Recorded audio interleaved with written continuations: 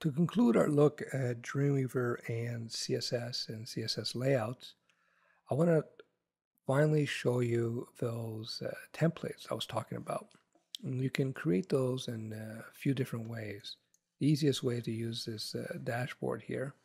Another way you can go File, New, and you can choose Blank Page, and then you got all these options here we're going to go through. Now, you don't want to go blank template and page from template and page from sample because these template tools here are really designed for situations where you may be working with another team of Dreamweaver users and these quote unquote Dreamweaver templates here are uh, used in that situation. I'm not going to cover that in this video. What we want to look at is these blank page templates. And we go HTML, and we don't want to choose HTML template. We're going to choose HTML. And here we have a whole bunch of layouts. These are all predefined layouts, and you can see how the, uh, the little thumbnail here gives us an idea of how the layouts will work. For instance, if you have a little spring, that means the layout is flexible, will stretch and the text it's, text will stretch and flow depending on how big the browser window is. Whereas here, if you have a lock on it, you know that the layout is set and solid and we uh, we demoed that in our own layouts that we made before. So typically, liquid would imply a liquid layout, a flexible layout. So we have all kinds of different options here, two column, three column, whatever you want. So I'm going to go with, let's say, uh, two column liquid layout right sidebar. Now doc type, this is something I, hadn't, I haven't addressed before doc type basically is, um, as you see, we got different options here. In a nutshell, the doc type is basically the um, is the rules that the engines will use to process your code. So, how can I explain this? You see, there are different versions of HTML: HTML strict, transitional, and then there's something called XHTML, which is very, very similar to HTML, but it's different. Then you have different versions of XHTML, transitional, strict, and so on. The code looks very similar, and only code monkeys will really see the difference. It's very subtle. The key to the doc type, it basically gives instructions to the browser what type of code you're creating so that it can use the best engine to process that code. I hope that makes sense. So we have a whole bunch of types here. I always tell people to use HTML strict or transitional, not XHTML. I'm not going to get into the reasons here, but for now, just use HTML 4.01 strict. So what that will do is will tell Dreamweaver to, first of all, Dreamweaver will insert, insert this doc type code in the page telling the browser what the code's about, and at the same time, the code that Dreamweaver will create will be HTML 4.01 strict. So, uh, yeah, We'll go with that. So layout.css. Now, what's this? It's asking us here the code to create this layout. Do you want to add it to the head of the page? That head refers to piece of the page in between the um, on top of the body. I'll show you that in a second. It's basically embedding the code in the page, or do you want to create a, a new file to embed that code, the code to create this layout, or do you actually want to link to an existing file? So we're going to say just add it to the head. I'm going to go create. So here's our page. We've seen this before. So let's take a look at the code. Scroll up. And now, let me just minimize all these. So you see head. And we scroll down and head. That's the head.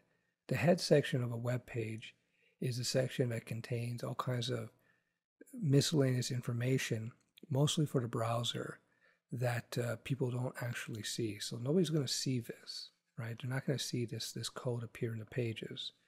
Anything that users see is going to be in between the body and body tags. So as you can see here, not only do we have all the CSS rules that we need to create our page generated for us by Dreamweaver here, but they've also tagged the divs with the proper IDs to create this layout here. Let's preview this. I have to save changes, so let me save that. So whenever you add a new page from a template, you're going to save it. So I'm going to call it uh, DW template. So here we go. Here's our page. And we said, give us a liquid layout of flows. And here we go. So now, instead of having to fudge around with trying to get our layout to work, it's all ready for us. All we have to do is go in there and add our own content. So we go, welcome to the page. And we say, uh, I don't know, main menu. And we can just put in our own, our own text, right? This is just like using Microsoft Word. So uh, you get the idea, and you can drop in images as you normally would. I hit enter, insert image, and I'll put the reading man here. I'll just, I won't put any alternate text for the sake of uh, what we're doing. Save that, preview that, F12. So as you can see, I'm able to build up a page really, really quickly by using a template. So even see uh, if we go in, we got our uh, see, we got our DW template here. Let's see the CSS. See all the CSS that's been added to our page. Now that doesn't stop us. We can add our own CSSs. So we can go in here. Let's redefine a tag. Let's say our paragraphs. Paragraphs. Here we go. In this document only. So we're going to say the font style for our paragraphs Times New Roman. And we're going to do something bad. We're going to make it all bold, which is really stupid. But for the sake of demo, save that, F12. So here we go. So as you can see, with the template, we can add our own rules and we can do all kinds of funky stuff and it saves us a lot of time. If you notice how much time it took me to show you how to just create a new page from a template versus having to build it from scratch. Another great thing about these templates is that they've been debugged. The, uh, the good people at Adobe have worked hard to make sure that these templates work consistently in all the browsers. You're going to have much less head- headaches and hassles with, uh, with your layouts. And one last bonus, as you can see, you see this slash forward slash star and the closes star forward slash. These are what you would call comments. And essentially, these are uh, instructions left to us by the people at Dreamweaver who created these templates for us. And these instructions tell us why they're doing certain things. And this is, uh, this is a good way you can actually learn from their work and you can learn how they do certain things and why they do certain things if you decide to become a real code monkey.